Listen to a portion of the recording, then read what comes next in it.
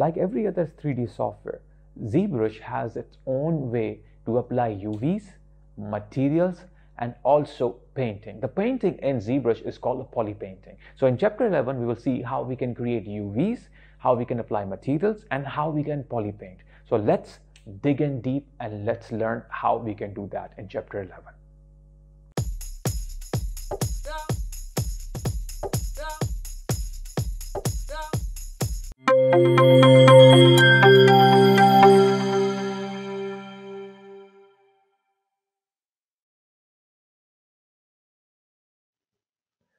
So now as we have moved to chapter 11, uh, a new chapter which is about the colors, UVs, materials and noise.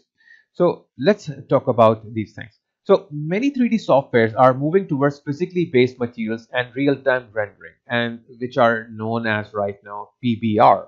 However, ZBrush is sticking with its core functionality of sculpting and modeling while leaving high quality rendering to other programs. So in order to create appearance of real world material, ZBrush has its own material of uh, like library of the material here. So let's uh, look at them. Now by default, ZBrush uses uh, this material uh, which you can see right now, which is matcap Red Wax. Okay, and it's kind of a red material uh, which look like a uh, wax sort of feeling it. So let's go ahead and click on this material library over here and you can see there are a lot of materials. Okay? So when we click on uh, here swatch uh, like material swatch we pop up all the different materials that comes with the ZBrush and we can choose from uh, here whatever we want. Now some people love the red wax material other people hate it if you want something that feels like a little bit more normal like something you might see in Maya or 3D Studio Max. So you can click on the basic material. So basic material, you can find it over here. So it will uh, give you uh, some uh, sort of feeling that you might see in 3D Studio Max or you might see in Maya. So I will click it here. So it will make it something as this. So this is a same thing you might see in Maya or ZBrush like Lambert or Blinn material, uh, those kind of things. Alternatively, there are other materials that have more special effects and you can kind of simulate the appearance of it. Like suppose if you want uh, to make it look like it's made of gold. So you can select the gold material. Let me increase the subdivision level here so you can see what's going on over here. Okay. So especially subdivision level of the other parts, I will increase it a bit so you can see uh, much more clear uh, you know uh, like a result out of here. Okay so that's enough. Now uh, one uh, one material the, uh, which I really like to use all the time is known as the skin shade material. And it is here and and it's called skin shade 4 so if I click back here you can see that it's all plain white. So uh, this I usually works uh, when working with textures and color.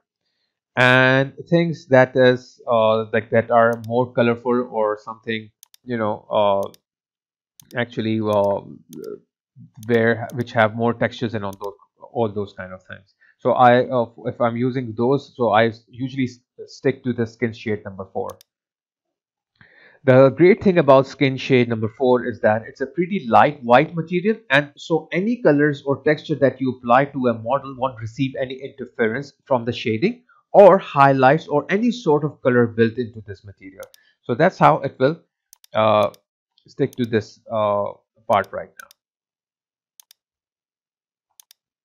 And apart from that, it's a very neutral blank canvas. So you'll notice that anytime I switch to any any kind of a color over here and nicely it takes that color on it.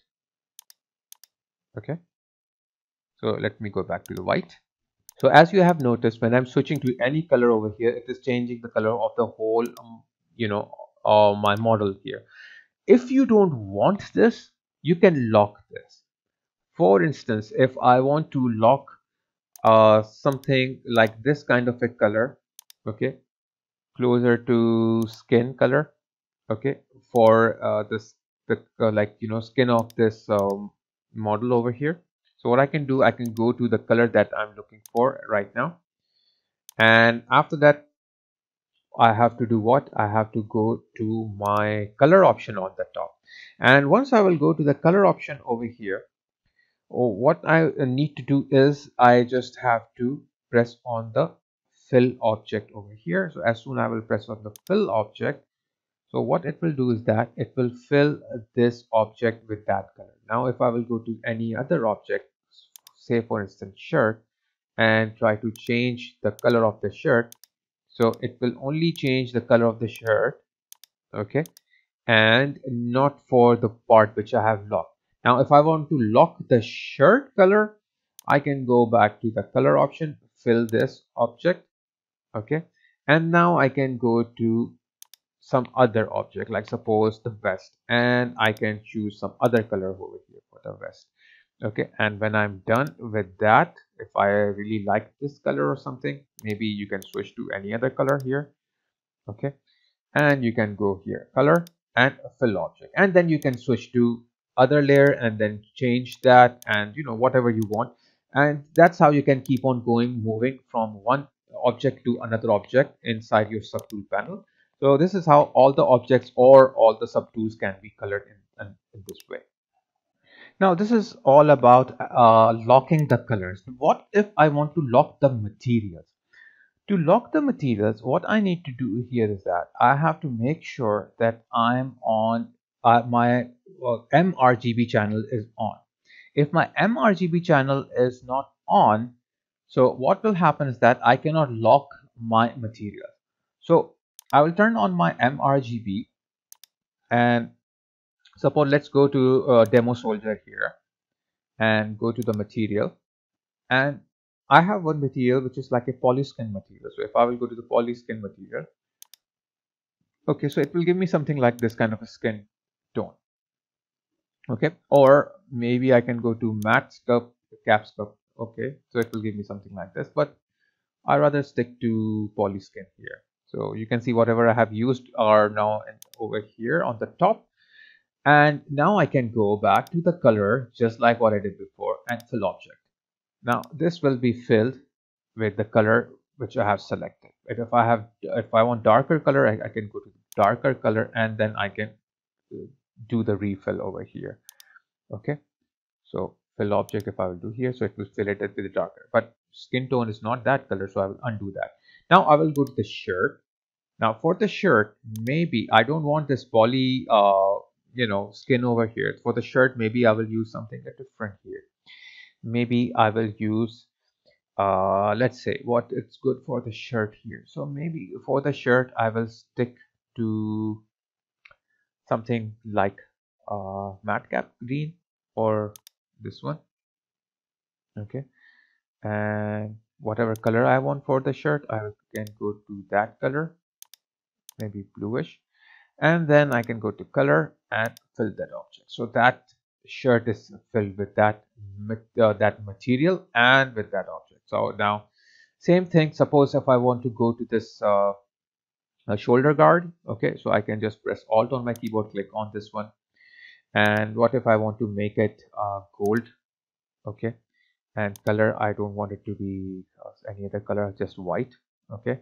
And if I will go to the color here fill that object and you will notice that this is filled with the gold color. Backpack should not be gold so I can go and take some other object here. And then simply I will go to the color and fill object so this is how you can lock the materials with the color as well now you can also paint with the material inside the ZBrush now, for example, I want to paint over this stuff tool, which is the vest. I'm on the vest right now. If you're not, you can press Alt and click on it. So you will move to this part.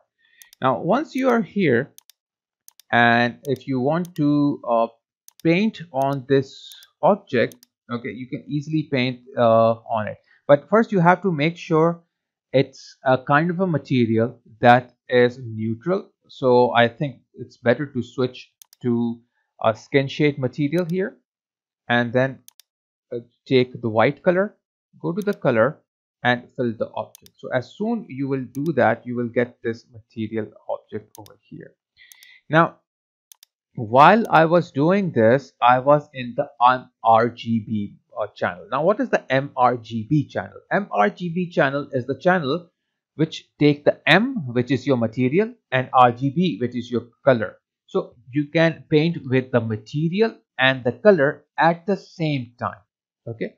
But if you only want to paint with the color so you have to be inside the RGB and if you want to paint with the material only so you have to be in the material okay?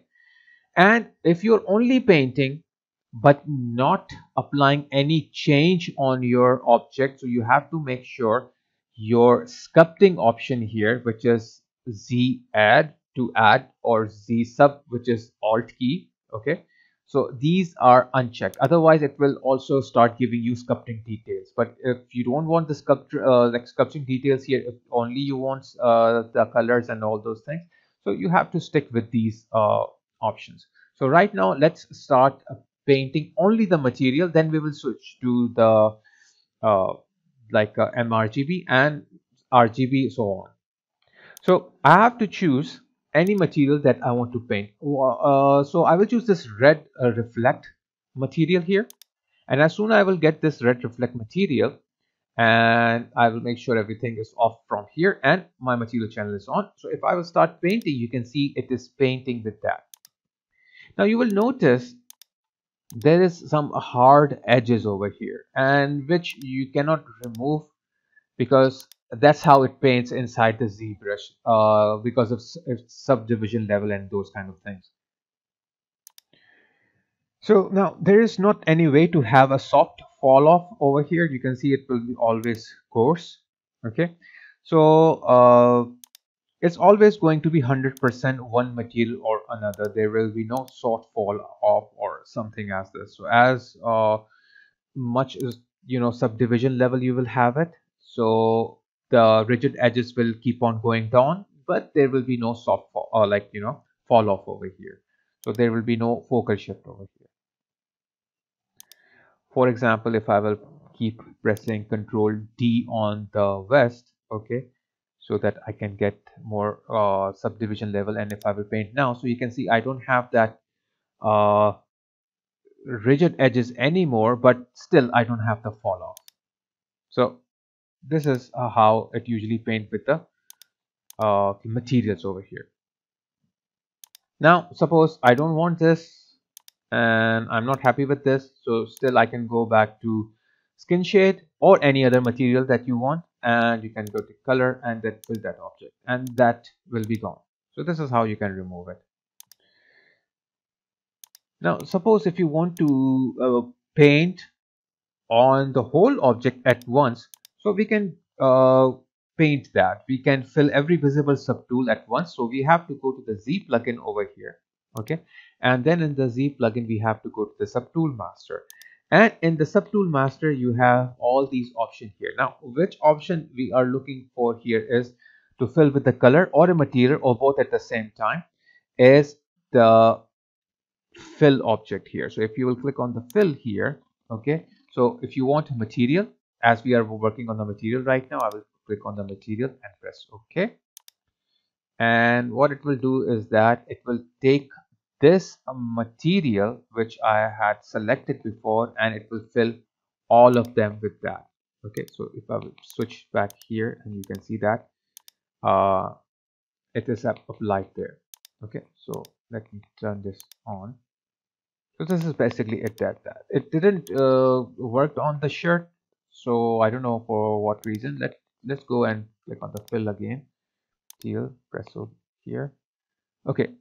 The thing is that shirt already have the skin uh, shade. Okay. The skin uh, shade number four but it have a blue color. So that's why it what it did we chose only the material. We didn't choose the color. So let's go back here and as we are in the white color here so if I will go to the Z plugin go to the fill. And if I want to also choose uh, color and material both at the same time I will choose color and material. So the color will be the white color and the skin shade will be the, the you know the main material. And if I press OK now it will go back again to all of these and fill it with the same shade okay and with the same color so this is how you can easily uh, do that so either material or only color or both at the same time now all of these material that you see over here are very much a superficial effect. So you cannot do anything like transparency or semi-transparency. You cannot do any true reflective material. So there is a material that sort of simulate the reflectivity. Like if you see the chrome over here, if you apply the chrome, okay, and if you go back here and then you apply that effect on that. So you can see it's basically it simulates the reflectivity but it's not actual reflection here okay? So however for sculpting purposes these options are sufficient. So they are suffice to use these when you are doing the sculpting mode okay? So i hope you have understood about uh, how to apply different kind of uh, like materials on the you know your uh, ZBrush in your uh, in, in your sculptures when you're working on them. So if you have liked this video, please click on the like button. And if you uh, have any question, you can leave in the comment section below. Also click on the bell icon so you can get the notification for the next lesson when I will be uploading. Feel free uh, to share my videos to your friends and I will highly appreciate if you will uh, give me a shout out for my channel on your uh, social media account. This will uh, give me boost up to get more uh, like viewers and it will help me to create more and more content. So i hope you have understood about how to apply materials inside your ZBrush. So uh, take care till we meet for the next lesson